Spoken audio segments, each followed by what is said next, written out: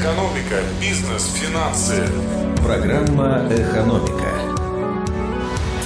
У микрофона Ольга Болезина. Здравствуйте. На железной дороге массово проводят вакцинацию сотрудников. Более 23 тысяч сотрудников ГЖД получили первый компонент препарата «Спутник Ви». Кроме того, законченный курс вакцинации прошли более 19 тысяч человек, сообщают в компании. В первую очередь прививку делают сотрудникам, обеспечивающим безопасность движения поездов, проводникам, диспетчерам, локомотивным бригадам, представителям инфраструктурного комплекса. Прививки делают в профильных поликлиниках на территории ГЖД вакцинация идет в Нижнем Новгороде, Муроме, Владимире, Коврове, Кирове, Казани, Ижевске и Красноуфимске. На кировских предприятиях сейчас усилят пропаганду вакцинации, иначе власти ведут ограничения на работу, чего бизнес не желает.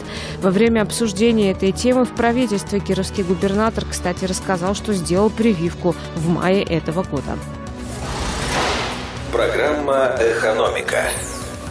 100 миллионов рублей убытков получили кировские МУПы в 2020 году. Самые большие потери у муниципального перевозчика АТП – 78 миллионов рублей. Несмотря на то, что предприятие получало различные виды поддержки из бюджетов разных уровней в период пандемии, коронавирусные ограничения и требования сохранять рейсы при падающем пассажиропотоке привели к убыткам.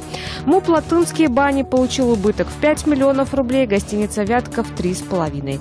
Восемь предприятий, принадлежащих городу, получили в прошлом прошлом году прибыль в общей сложности она составила чуть более 200 миллионов рублей. Часть этих средств поступит в городской бюджет в качестве дивидендов. Экономика. На 101 FM.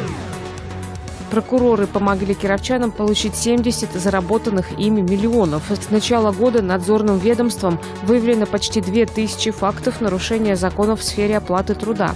По результатам рассмотрения документов из прокуратуры к дисциплинарной и административной ответственности привлечено более 700 должностных лиц. В суды направлено более 100 исков о взыскании с работодателей денежных средств и выдаче судебных приказов. По материалам прокурора возбуждено 4 уголовных дела. В общей сложности долгов перед гражданами гражданами после вмешательства ведомства погашено на 68,5 миллионов, сообщили в прокуратуре Кировской области. Экономика. Завершение о валютах. Доллар сегодня 73 рубля 17 копеек. Официальный евро 87 рублей 7 копеек. Ольга Болезина. Новости экономики в Кирове.